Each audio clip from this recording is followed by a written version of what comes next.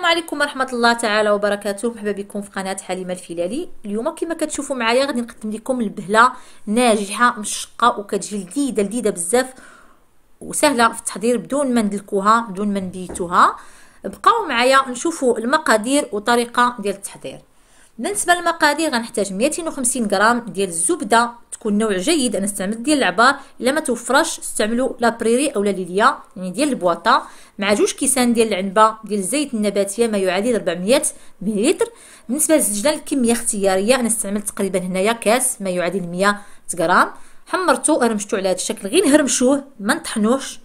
مع 200 غرام ديال اللوز اللي حمرته في الفرن بالقشة ديالو وهرمشته ممكن تعويضوه بالكاوكاو اولا ديروا كمية أقل كيبقى اختياري طبعا. عندنا السكر الخشين يعني سكر سنيدة غير هرمشتو فقط. 200 أو 250 غرام على حسب الذوق كيلو ديال الدقيق الأبيض الفورس وعندي قبصة ديال الملح تقريبا واحد نصف أو ملعقة صغيرة ديال القرفة. وثلاثة ديال الخميرات الكيماوية ما يعادل ثلاثة ديال الخمارات اولا واحد وعشرين غرام. استغل مناسبة باش نجاوب العديد من الأخوات اللي كيسولوني على هذا الميزان. وكاينه واحد الاخت يعني شراتو ما عرفتش كيفاش تستعملو. فهو سهل جدا. الثمن ديالو 100 درهم باش خديتو ممكن تلقاوه أقل أو أكثر كنغلفوه بالفيلم أليمونتير. وغادي نوريكم دابا كيفاش كيس يعني طريقة سهلة باش كنستعملوه. كنوضعوا الآنية اللي غنوزنوا فيها. عاد كنشعلوه باش الوزن ديالها كيدخل في وسط الميزان. كما تلاحظوا غيعطيني الصفر مباشرة. غنوضع داكشي اللي غادي نوزن. أنا دابا غنوزن به الخمارات. حاجتي ب 21 غرام يعني ثلاثة ديال الخمارات أولا ثلاثة ديال المعالق تقريبا. غادي نبقى كنزيد شوية بشوية حتى يعطيني القياس اللي بغيت. طريقة غادي نوزن حتى الزنجلان باش تفهموا أكثر لينا طريقة سهلة جدا. كنوضع التبصيل أولا اللي كان وكنوضع من نشعل الميزان وعاد نوزن داكشي اللي بغيت. كنتمنى تكون الطريقة مفهومة.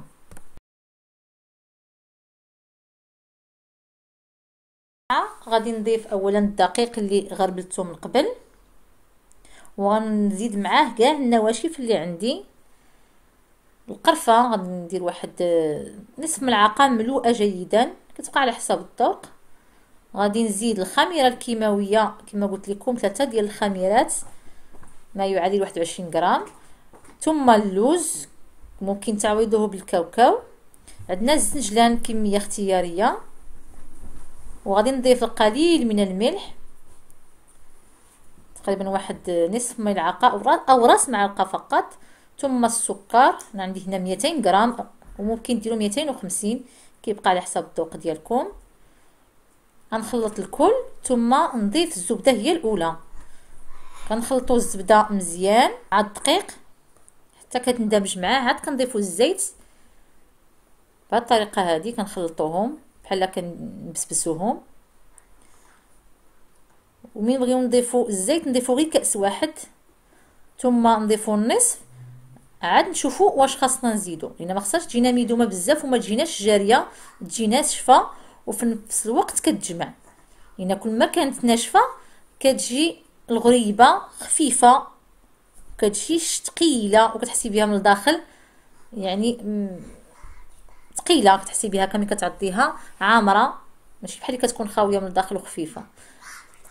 صافي دابا نحاول نجمعها ونخلي داك الجزء اللي خليت حتى الأخير عاد نضيفه بهذه الطريقة هذه كنجمعها.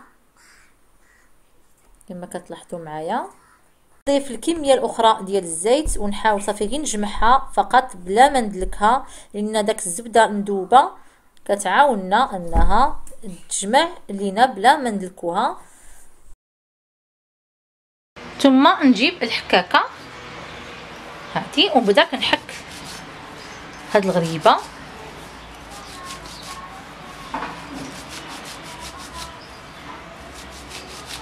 نحاول نحكها كاملة. بنفس الطريقة من ديك الجهة الغليظة كنستمر حتى كنحس بأنني كلها دوزتها. هذه كما كتلاحظوا معايا فهي كتجمع خصنا هي تجمع لينا ما تجيناش جارية.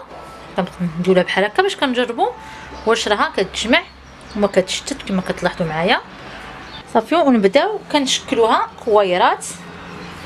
كنحاولوا نديرو لها بحال هكا نجمعوها من هاد اليد لهاد اليد ونجيبوها في الراحة ديال يدينا. على هاد الشكل هذا كما كتلاحظوا كنحاولوا نقدوها ونضغطوا واحد شوية على هاد الشكل ونوضعوها في صفيحة ديال الفرن بنفس الطريقة.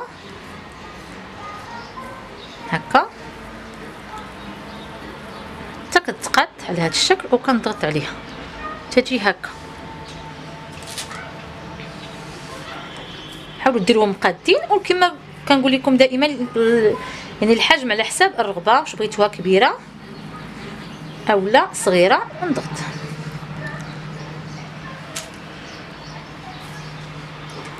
كل وحدة درت فيها تقريبا 24 غرام. وكنديروها في صفيحة الفرن. وفي هذه الأثناء نشعلوا الفران باش كيسخن بشكل جيد. ضروري خصنا ندخلوا اللاطه حتى كيكون سخن مزيان مزيان. غنستمر بنفس الكيفية حتى ننتهي من الصفيحه الأولى. الصفيحه الأولى كما كتلاحظوا معايا فأنا الغريبة بعدتها شوية على الجوانب خصوصا أن عندي الفران ديال الغاز. بالنسبة اللي عندها الفران ديال الضو ماشي مشكل. الفران الغاز الأغلبية ديالهم ما كيخليوش الغريبة اللي في الجوانب تشقق إذا كنبعدوها شي شوية على هذه الطريقة بالشكل هذا. كنوضعها فوق papier cuisson اولا papier sulfurisé اولا غير كندهن الصفيحة بالزيت ومباشرة كنوضع فوق منها الغريبة. ندخلها الفران كما قلت لكم يكون سخون مزيان مزيان. ونقصوا عليه حتى الأخير بالنسبة للفران ديال الغاز. واللي عندها ديال الضو دير 170 درجة. العافية تكون فوق منها حتى كتشقق على هذا الشكل هذا. عاد كنطلعوها الفوق ونوضعوا صفيحة أخرى. كما قلت لكم العافية فوق منها. تحمر لينا من التحت ولا شتناها مازال خاصها شوية تذهب من الفوق حتى طيب الأخرى يعني وتشقق. نعاودوا نهبطوها تحمر شي شوية يعني كتجي كيكون عندها واحد اللون ذهبي محمر ما كتحمرش بزاف بحال هكا على هذا الشكل. كنخليوها تبرد مزيان مزيان مزيان عاد كنهزوها من البواطة من الصفيحه أعتذر وكنوضعوها في بواطة عادي إلا كنا غنبغيوها واحد المدة آه، ما طولاش بزاف. بغينا نحتفظوا بها مدة أطول. كنغلف البواطه ديالي بالبابي ألومنيوم وكنستف فوق منها الغريبة ونغطيها بداك البابي ألومنيوم. بعد ما كنوضع معها قطعة ديال السكر اولا قشرة ديال البرتقاله في واحد المكان جاف ماشي في الثلاجه والمجمد لأنها ما كدارش فيهم نهائيا. وهذا الشكل النهائي ديالها. كتجي رائعة جدا. خصوصا درنا الزبدة ديال العبار. وحكيناها في الحكاكه كتجي ناجحة وخفيفة بزاف بزاف وكنتمنى نال الاستحسان ديالكم وتجربوها وتتبعوا النصائح أكيد تنجح معكم. إلا عجبكم الفيديو ما تنساوش الاشتراك في القناة تبارطاجيو مع الاصدقاء ديالكم وتشجعوني كما العادة بالتعليقات ولايكات وشكرا جزيلا على المتابعة وإلى اللقاء. مع السلامة.